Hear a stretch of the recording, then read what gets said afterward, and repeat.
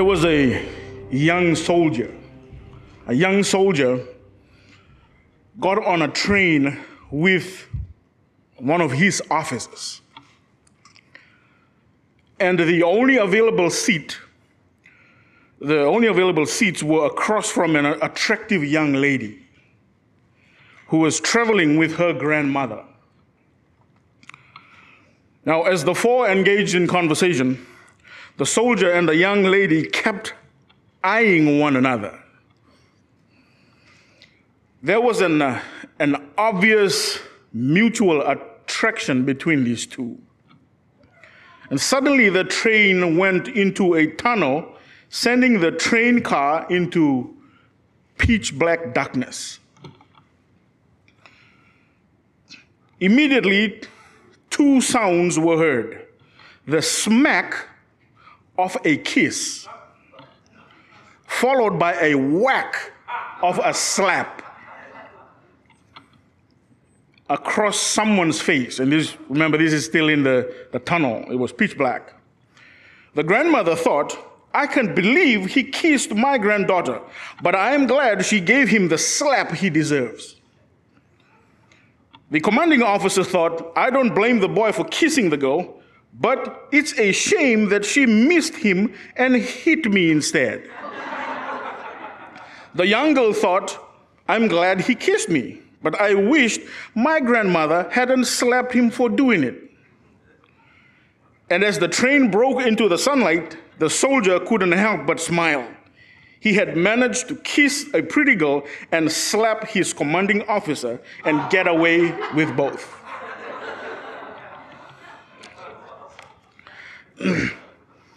now, John chapter 3, verse 19. The gist of it it's hard to get away with anything in the light. It is difficult to get away with anything in the light. But that's why so many people love the darkness. Now, this morning we'll be browsing through Sunday as it is written in the New Testament, and we'll uh, review and remind ourselves of why we choose to worship on Sunday, on Sabbath, and not choose to worship on Sunday as a sacred day of worship. There are many people that love to dwell in darkness. Many know and have seen the evidence in God's word about the true day of worship and the false day of worship, but they choose to follow the false day of worship. Now, there are eight references. There are eight references in the New Testament to the first day of the week, and one a reference to the Lord's Day. Now, because serious claims for Sunday sacredness have been based upon these texts, they call for careful examination and I will put up these texts so that we can see. And this is basically all the text in the whole entire Bible from Genesis to Revelation. These are the only eight verses that you will find that, uh, that speak very closely to Sunday as a arguably, as, as people argue, that it is a sacred day. Now, let me turn my remote on. All right. This is on. Let's look at the first text. This is Matthew chapter 28, verse 1. Early on Sunday morning, as the new day was dawning, Mary Magdalene and the other Mary went out to visit the tomb. That's the first Bible verse. Now, this passage states that in the early hours of the day, of the first day of the week, After the Sabbath, the friends of Jesus came to visit his tomb. However, no sacred title is given here to the first day. No suggestion of sacredness, sacredness is attached to it, nor is there any command for its observance.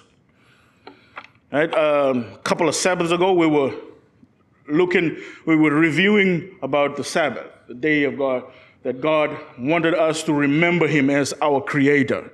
Today, we're looking at Sunday as the first day of the week. Here, we're arguing that Sunday is not the sacred day that many people, millions of people, think it is a sacred day. All right, so that is the first Bible text. We'll move through this text pretty fast. The second text is Mark chapter 16, verse 2. This also is a straightforward historical narrative. Very early on Sunday morning, just as sunrise, they went to the tomb. Now, this is not a command. Mark records the same visit to the tomb as Matthew chapter 28 that we just read, verse 1, using slightly different words. You following along? All right. Now let's look at the third text. Mark chapter 16, verse 9.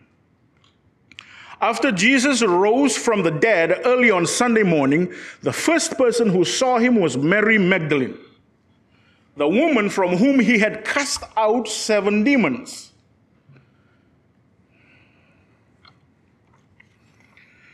Now, this too is a simple statement of fact, recording the resurrection of Jesus and his appearance to Mary Magdalene. Somehow, every time I read this and think about this lady, it always surprises me that of everyone, it was Mary, this lady, who decided to run to the tomb and check. That is the third text. Let's look at the fourth text. That is Luke chapter 24, verse 1. This passage adds little to the above except that it explains the object of the disciples' visit to the tomb. Right? Namely, to anoint the body of Jesus and obviously, they expected to find him dead. Let me read the text. But very early on Sunday morning, the woman went to the tomb taking the spices they had prepared. Now, usually in that culture, as soon as the person dies, right, uh, in the process of embalming, they put the spices on, on, the, on the dead person's body and they wrap him up and they put him in the tomb and lock him for good. But because in Jesus' situation, the sun was setting very fast on, on Friday evening, and they don't have time to do all that. It was a, it's a long process. So they had to put Jesus in the tomb and remember to come back on Sunday and put the spices on his body after the Sabbath. All right, let's look at the fifth text John chapter 20, verse 1. This verse also describes Mary's visit and her discovery that the tomb was open.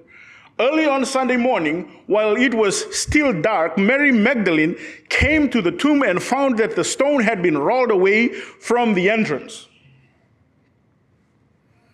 Now, obviously, these five, these first five scriptures need not detain us long in our search for New Testament evidence for Sunday sacredness. Now, they simply record the fact that Jesus rose from the dead on the first day of the week and that his empty tomb was visited by several of his disciples the early morning of that day. How many of you have come across people, fellow brothers and sisters, Christians, who, who argue that the Sabbath has been changed to the first day of the week, and you are afraid to say anything about it because you don't know the, the specific Bible verses to quote and all that. Now, we're looking at the evidence. There are only eight Bible verses that speaks to this. to the first day of the week, and we are going through right, right through it now. After we'll going through this, you would have seen every Bible verses that speaks to the to the first day of the week or Sunday that is present in the Bible. Now, let's go back to a text. These passages record no divine example of first day observance. They contain no divine command for such an observance. They apply no sacred title to the first day, nor do they give any reason for its observance. On the other hand, they show that Christ's disciple treated the first day as a common working day, for they were prepared to embalm his body on the first day, a task which they declined to perform on the Sabbath. Hope that is clear. All right, remember, this is a re- just a review. I know that even those of us who have been in the church for a long time need to review our the teachings of the Bible so that we are on point. All right. Let's look at the sixth text. John chapter 20 verse 19. That Sunday evening, the disciples were meeting behind locked doors because they were afraid of the Jewish leaders. Suddenly, Jesus was standing there among them. Peace be with you, he said. I remember that must be a, I imagine that must be a, can be a scary situation. Can you imagine uh, coming home to a dead loved one standing on the, on the front door?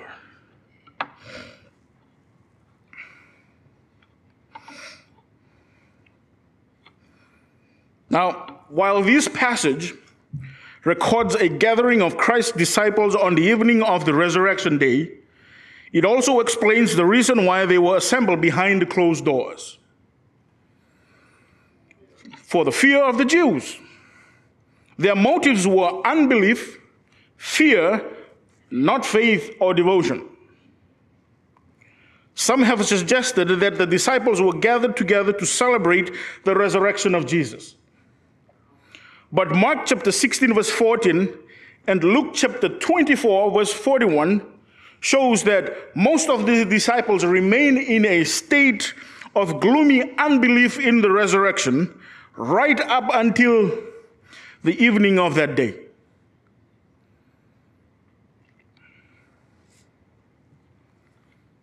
The seventh text, Acts chapter 20, verse 7.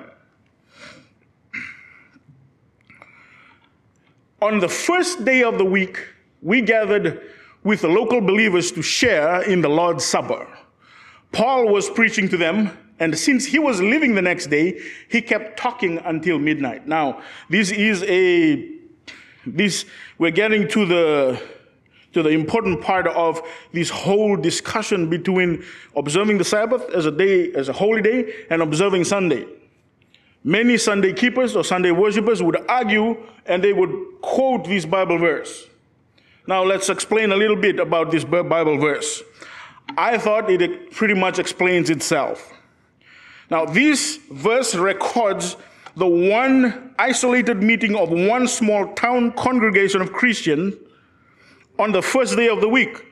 However, the context shows that it was a special meeting called for the purpose of farewelling Paul. It was also a unique occasion because, due partly to the accidental death of a young man in the congregation and his miraculous restoration, the meeting continued all night. Now, I will ask you to pull your Bibles out. Open your Bibles, please. And turn with me to Acts chapter 20. In your Bibles, please turn with me to Acts chapter 20. Acts chapter 20, verse 8 through 12. We will find this story. And if you have your Bibles with you, please follow with me. I don't know what translation you have. I'll be reading from the New King James Version. Acts chapter 20, verse 8 all the way through 12. All right. Let me read. There were, verse 8, there were many lamps in the upper room where they were gathered together. And in a window sat a certain young man named Eutychus, who was sinking into a deep sleep. He was overcome by sleep, and as Paul continued speaking, he fell down from the third story and was taken up dead. But Paul went down, fell on him, and embracing him said, Do not trouble yourselves, for his life is in him. Now, when he had come up, had broken bread and eaten, and talked a long while, even till daybreak, he departed. And they brought the young man in alive, and they were not a little comforted.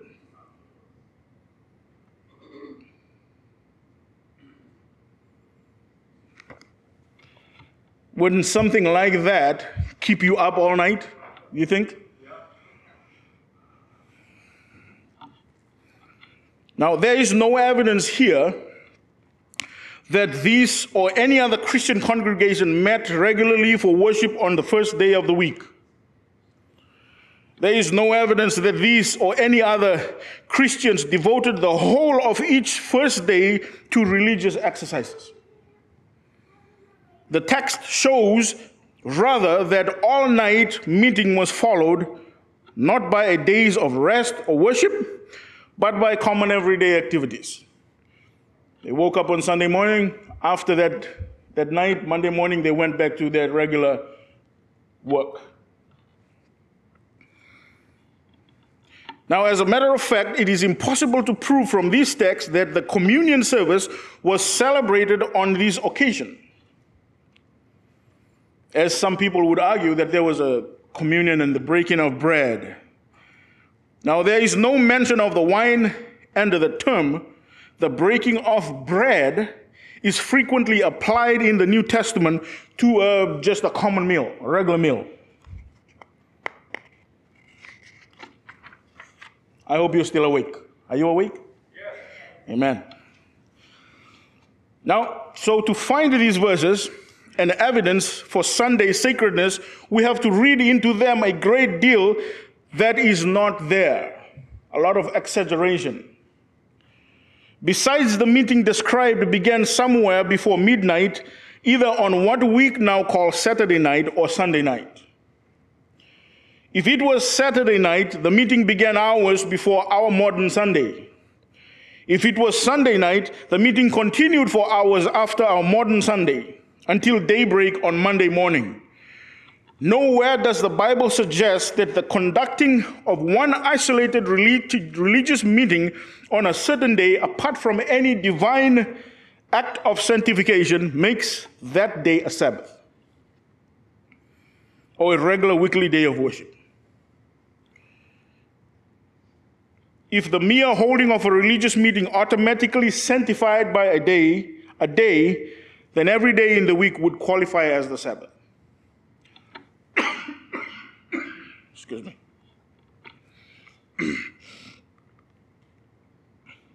Let's look at our eighth verse, our eighth text. Oh, is seven, eight? All right. First Corinthians chapter 16, verse 2. On the first day of each week, you should each put aside a portion of the money you have earned don't wait until I get there and then try to collect it all at once. Now, in spite, in spite of a widespread misunderstanding, this passage does not refer to public giving of offerings in regular church services on Sundays. The advice let every one of you lay by him in store refers rather to the private laying aside of sums of money at home by individuals for a special Judean relief appeal. They were fundraising. These sums would presently be collected by Paul or his assistants on their way to Jerusalem. There is no reference here that this public offering would support the local ministry or for foreign missions as we think of them today. Nor is there any reference here that any universal or permanent Christian institutions or to any universal permanent Christian institution for a pattern of worship. Paul is certainly not trying to legislate for the whole church or for the entire Christian age.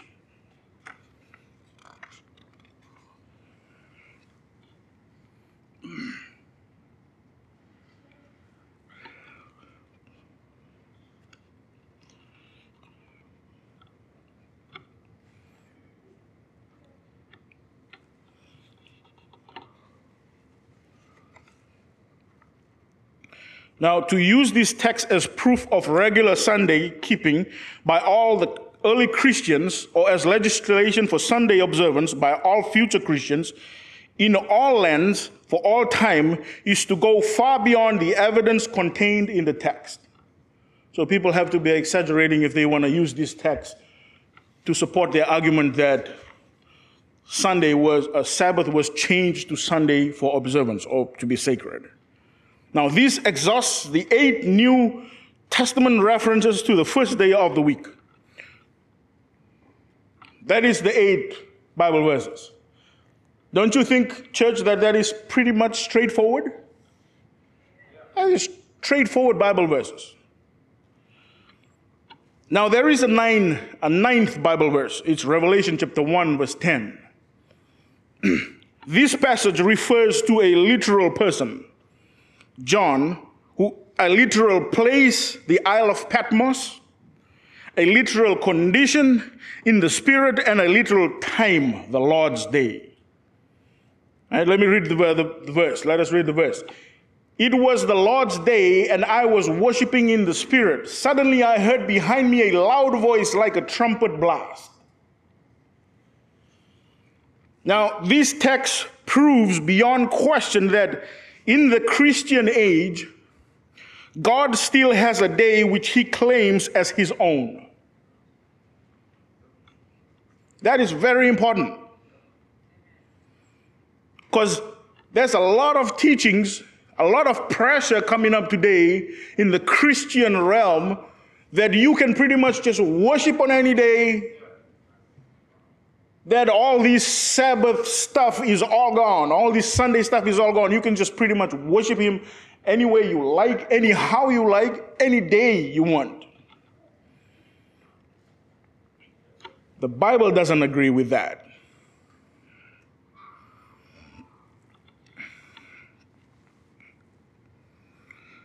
Nor is it safe for us to guess which day of the week it is. The Bible alone must be allowed to decide this question. To discover which day of the week God claims as his own, we must turn to the other scriptures, such as Exodus chapter 20, verse 8 through 11. We have Isaiah chapter 58, verse 13 and 14. We have Bible verses or scriptures like Ezekiel chapter 20, verse 12 and verse 20, and so on and so forth. These passages show that the only day of the week which the Lord has ever claimed as his special property is the seventh day. Reaffirmed, reaffirming that this morning. If we are resolved to let the Bible and the Bible only to settle this question, then the Sabbath alone qualifies as the true Lord's day. Then that would mean that you are worshiping on the right day that God intended or wanted us to worship Him. Coming to a close, we've looked at these verses, these nine texts, and seen the evidence that points only to the Sabbath as the day of worship. Now, is it a surprise that many millions of people follow Sunday or false day of worship other than the Sabbath? No, it's not a surprise. throughout history, throughout the records of the Bible, God has always have a small group of people that uphold and obey his commands, his word, that follow him. Satan has always been successful to deceive many people. This is why God has called us to witness. And that brings upon our shoulders a certain pressure, a certain responsibility, a certain weight. I was talking to my friend on, thir- on Wednesday, I believe, Wednesday or Thursday. This friend of mine had just um, went and joined, he's a pastor from Fiji. He was called to go and run one of the meetings that was scheduled in Papua New Guinea down in the South Pacific Division in the last month, or the last couple of weeks. And I was asking him how, was, how that was, because I was hearing and looking at some statistics of the, that evangelistic meeting. And he said, Yeah, I have never experienced, I have never seen anything like it. There are 9 million some people in the population of that island of Papua New Guinea. And according to the records in the Seventh day Adventist Church, there was three some million people that attended the evangelistic meeting. And to this point, they're still counting. They have counted over 300 some thousand people already baptized from that baptism, from that evangelistic meetings that were held everywhere across the, that island. And a friend of mine was, was telling me that there are some churches. Uh, one of the, the district that he went to preach in uh, had no Adventists whatsoever there was a lot of people that just don't know who God is. And the district or the, the churches that were closer to that area that they were targeting to do to run the evangelistic me- meeting at decided that they were going to, for the last four years, from I think from 2020, that was COVID year, all the way to this year, they were going to go ahead and build a church. Build a church work and pray and hope that when the baptism comes, they will be able to fill that church. And that was what they did. They did all the lay work, the layman work, and they, pre- they did the evangelistic meeting and they were able to baptize 160 something people.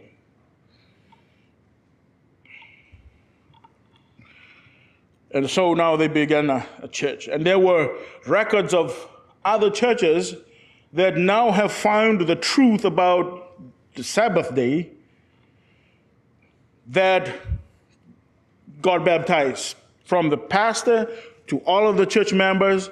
They baptize them on the Sabbath and they turn up on Sunday and they strip down the, the names on their, of their former church and they put up Seventh day Adventist church outside. There was a couple of churches like that. Amen?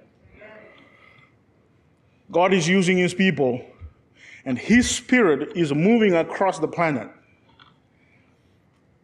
We have to pray that his spirit will move in our hearts so that we too will witness to the people that surround us. That our people here, our relatives, will know that he is coming soon. That they will see the signs that the Bible has been foretelling for over a thousand years, that they are fulfilling.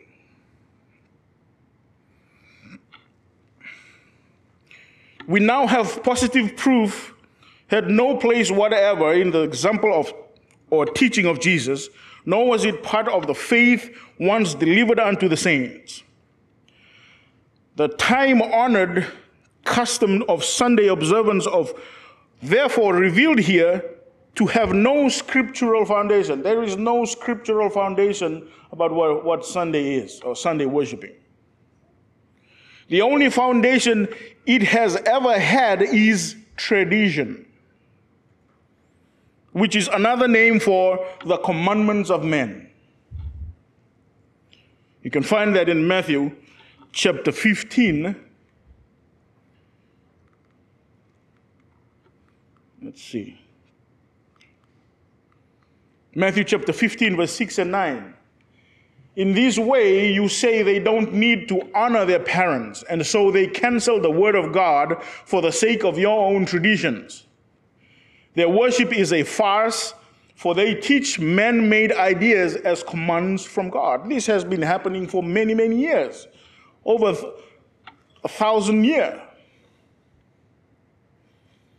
Men following man made traditions. Now, this conclusion has always have always challenged Sunday keepers.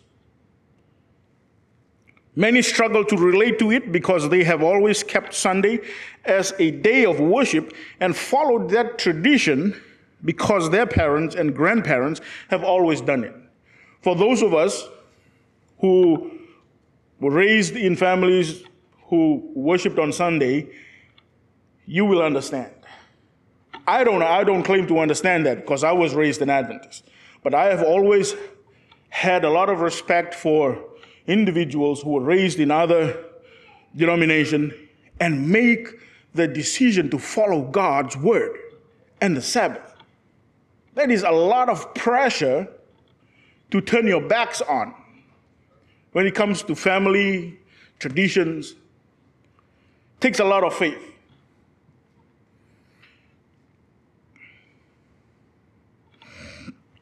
But the fact that remains true is God's word is truth and it will always be absolute. Amen? Nothing can change God's word. No man made tradition can ever make truth untruthful. And let's consider the direct and powerful statement that Jesus made in Matthew chapter 12, verse 30. That's what Jesus said. He who is not with me is against me. I have always found these texts somewhat scary. The thought of not being on Jesus' side, not being on God's side, being on his opposite side. He that is not with me is against me. The only safe position, church family, is to stand where Jesus stands on this question. It is always safe to follow where Jesus leads the way. Amen? Now, once upon a time, a little candle stood in a room filled with other candles. Most of them much larger and much more beautiful than she was. Some were ornate and some were rather simple, like herself. Some were white, some were blue, some were pink, some were green. She had no idea why she was there, and the other candles made her feel rather small and insignificant. When the sun went down and the room began to get dark, she noticed a large man walking toward her with a ball of fire on a stick. She suddenly realized that the man was going to set her on fire. No, no, she cried. Ah! Don't burn me, please. But she knew that she could not be heard and prepared to, for the pain that would surely follow. To her surprise, the room filled with light. She wondered where it came from since the man had extinguished his little stick. To her delight, she realized that the light was coming from her. Then the man struck another fire stick and one by one lit the other candles in the room. Each one gave out the same light that she did. During the few hours, she noticed that slowly her wax began to flow. She became aware that she would soon die. With this realization came a sense of why she had been created.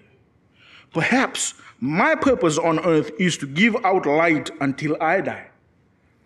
She mused, and that's exactly what she did. God created you and I to produce light in a dark world. Like that little candle, we all can produce the same amount of light. We are different color, shape, sizes. But our purpose is to give a light. And that is simply why we are gathered here in the sanctuary today. Is to give light and glory to God. And when you are walking around, think about yourself. Imagine yourself. I am a light. And when I am walking around, now this is where the heavy responsibility comes on. When I am walking around, I don't represent myself. Many times, it is tempting. We live in a free country, right? We tend to argue, well, I can do whatever I want. Well, think about it again. You have heed the call of Jesus Christ. You are not yours, you are Christ. The weight of responsibility falls on me. When I am walking around, I have to know that everyone who's looking behind me should see Jesus. I am a reflection of Jesus. And that is a lot of, of, of pressure. But once again, God, Jesus, gives me and you the, the strength to do that.